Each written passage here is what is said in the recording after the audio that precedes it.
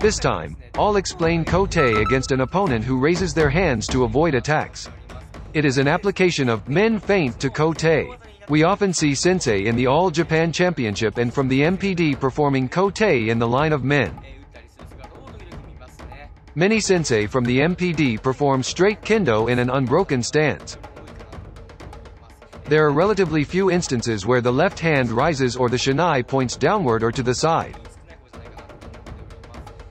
In particular, I believe a swing with a vertical line is very powerful and a threat to the opponent. For example, since men is also a vertical swing, the opponent can become afraid and raise their hands. Imagine the transition made from the vertical line to kote for striking kote. This time, a video was taken from the view of Moto Dachi. The hand was up and interfered with the camera, so some parts are hardly visible. But the view from the side was also taken, so it's easy to visualize the kote. Hope you'll see it to the end. The key focus point is whether it looks like the line of men. Kote is performed from the line of men so that the opponent raises their hands. This won't work if it doesn't look like the line of men. Does it look the line? At the same time, the starting point. If the starting point is too far, the opponent won't be afraid and won't raise their hands. Look for the best ma'ai for striking the opponent so that they will raise their hands. Next, how to move your feet. A video of the feet movement was taken from the side. Watch how they move. Finally, the hands. As to how the hands are moved, while moving forward, you try kote uchi. Especially in a match, you need to try kote uchi during the opponent's offense and movements. Watch how the arms are bent and stretched. Let's watch.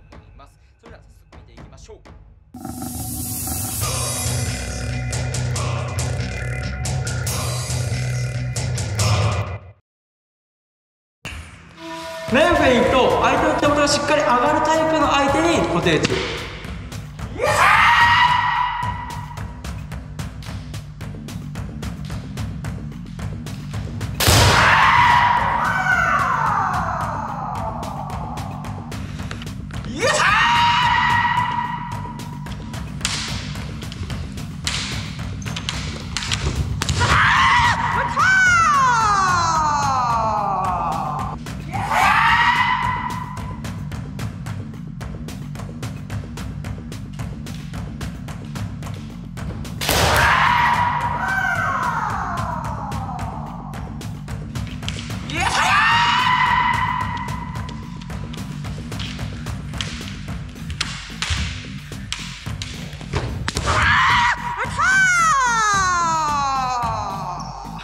See again in slow motion.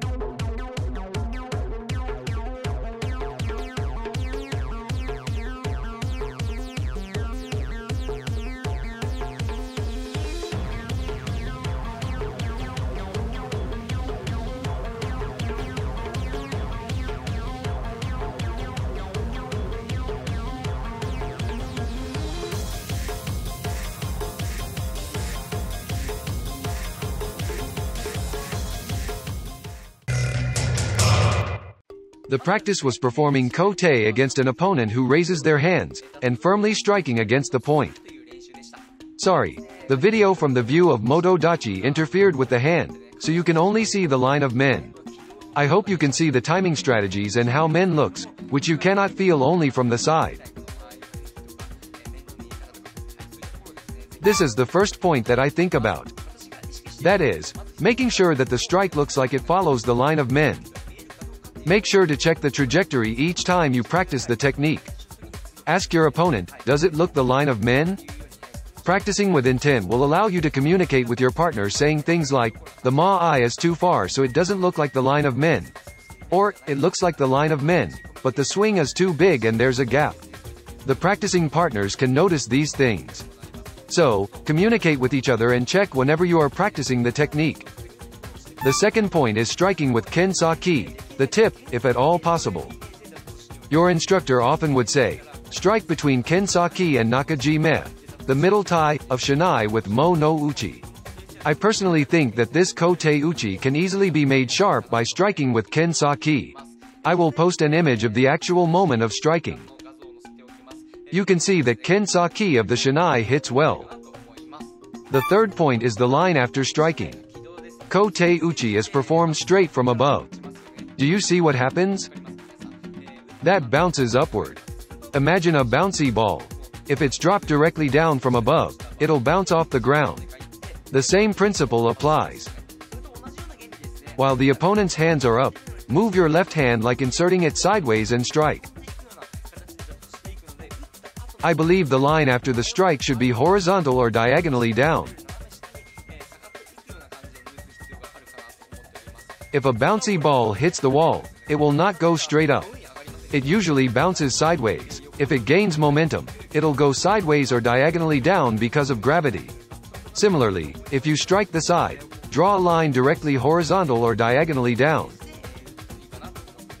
Bounce sideways or diagonally down. What does it take to do that? It is not a matter of being conscious of the line of the shinai after striking but rather the application of force to the strike. If you strike a vertical swinging kote uchi, the opponent's hand goes up and your shinai turns sideways. You see hand moving up, so you swing wide and hit with the side of the shinai. The shinai then goes straight up, gets caught by the opponent's shinai, and fails to score ippon. The instructor may warn you to not strike from the side. So you have to watch your strike trajectory. If you master how to move your left hand, you will be able to strike with a vertical ha suji properly and strike more powerfully with the tip of the shinai. You can utilize the bounces I mentioned earlier the sideways bounce and the diagonally downward bounce. As for the first demonstration, a two-step, men feint and kote uchi, shown for clarity. Next, kote uchi in the line of men, and in a series of movements. 小手打ち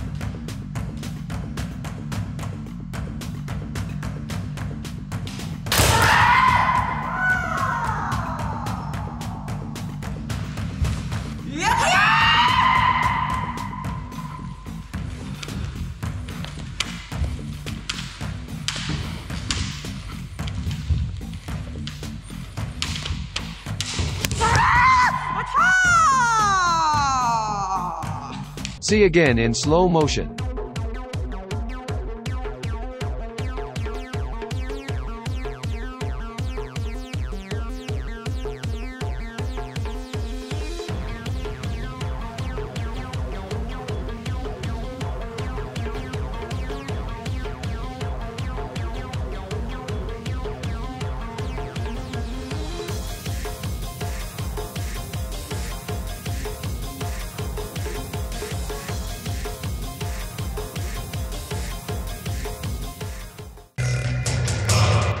In the first video of the view of Moto Dachi, the hands weren't raised much, so we're able to see the line of men and the strike.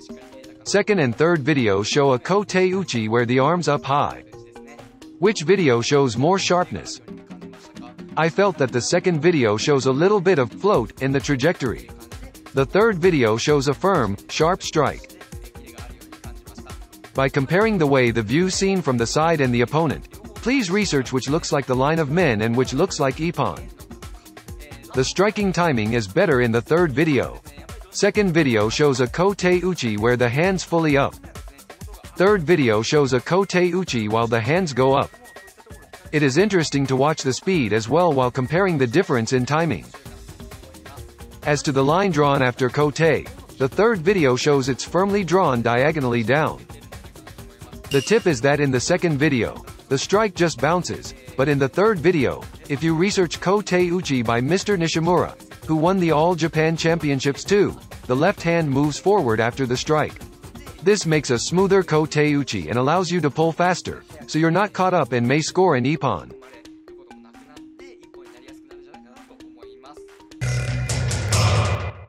Harai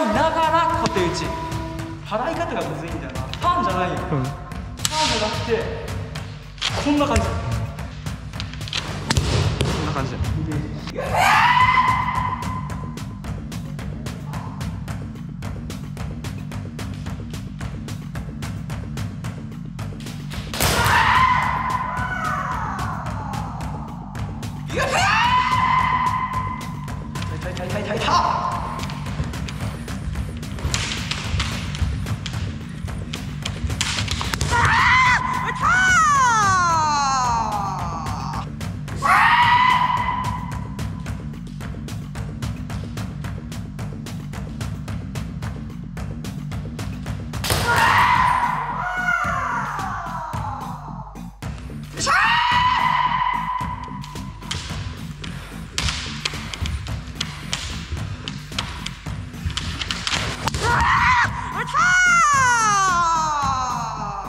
See again in slow motion.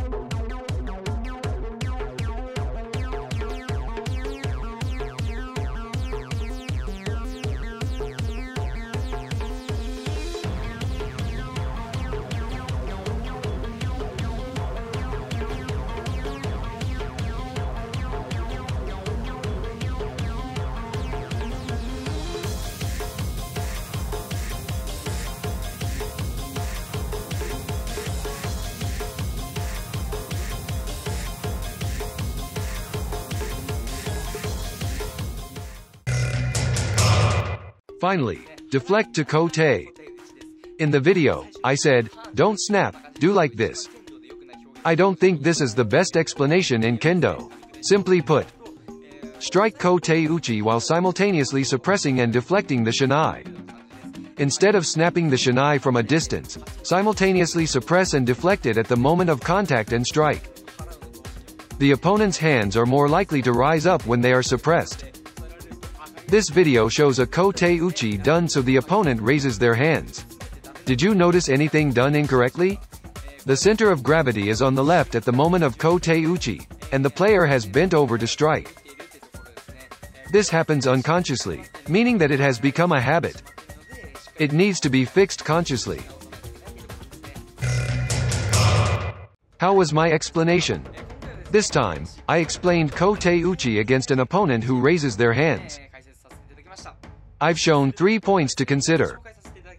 First, the line of men. Second, strike with the tip of shinai. Third, the trajectory of the shinai and how to use the left hand. In addition, I'm conscious not to bend over to left if at all possible. I'm certain that my speed is slower than in my active years, so I need to train hard. Even though I'm not a player anymore, I need to pass on kendo. I want to do my best. Hope to see you next time. Thank you for watching.